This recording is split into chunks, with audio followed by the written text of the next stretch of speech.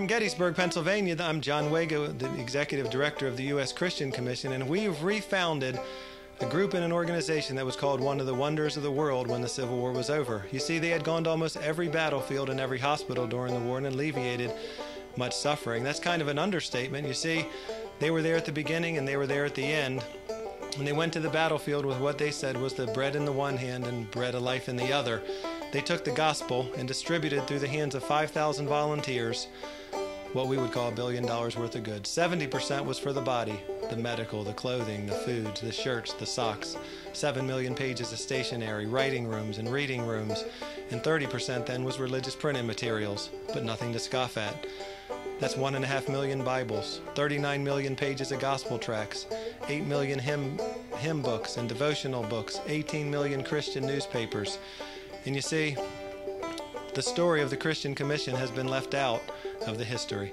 I've spoken to the curator of the Park Service Museum here, one of the collections of the largest in the world of Civil War artifacts, and he told me this. He said, I've heard of it, but we don't know anything about it. Could you tell us? And we're here in Gettysburg today in the first museum in the world to pay honor and tribute to these heroes that went to the battlefields with the gospel. And one of those was a Chamberlain brother. If you've seen the movie Gettysburg or read the book Killer's Angels, you know a lot about the 20th Maine taking that stand at the end of the Union line here on July 2nd at Little Round Top.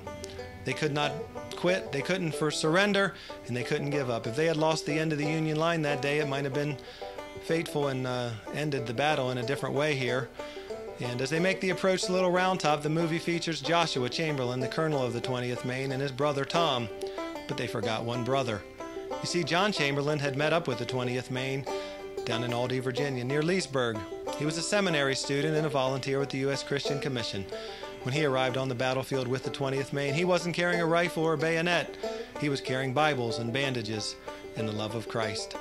And as the shells came in, Joshua turns to his brothers, both of them, and he says, we better split up, boys, otherwise it could be a hard day for Mother.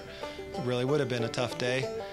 Joshua then says, John, pass up ahead and find a place to receive the wounded. So he was on the field working with the wounded, ministering to them both body and soul here from the Christian Commission. And after the battle, John heads back to Washington, D.C., where he's captured as a suspect spy. You see, they wore their civilian clothing, they weren't paid, and they were around these battlefields where not many civilians were allowed or were very suspect, and he's put into a prison cell where he gets sick. It's three years later, and John Chamberlain, newly married, living in New York City, dies of consumption, which we would call tuberculosis. So, if you allow me, the wound that John Chamberlain suffered here at Gettysburg, although not with a bullet, cost him his life. And he wasn't fighting for the blue or for the gray. He was fighting under the banner of the cross that others might live. He brought the gospel, the bread in one hand and the bread of life in the other. And that story is continued through almost every battlefield and every hospital during the war. The Christian Commission is there.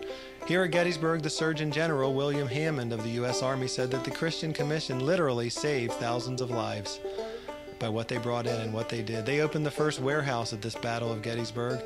They were on the field with troops. They were on the field the first to arrive with help, and they're some of the last to leave out of the Letterman Hospital four months after the battle is over. Heroes, heroes of the faith. Their story has never been told. There's no monument or marker on any battlefield in America to this organization or any individual. Here alone at Gettysburg, there's over 1,400 stone monuments. But if you were to talk to John Chamberlain or some of these other heroes that we talk about at this museum, I'm sure they would tell you this. They would tell you we weren't fighting to see an earthly monument of stone built. Oh no. We were fighting to see other men's lives written in the Lamb's Book of Life, the eternal monument, and the greatest that any of us could have it written on. God bless you from Gettysburg. When you come here, pay us a visit.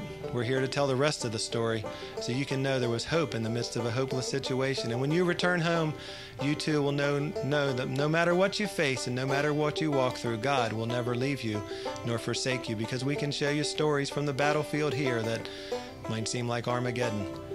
There's no height, there's no depth, nor width, nor life, nor even death itself that can separate you from the love of Christ.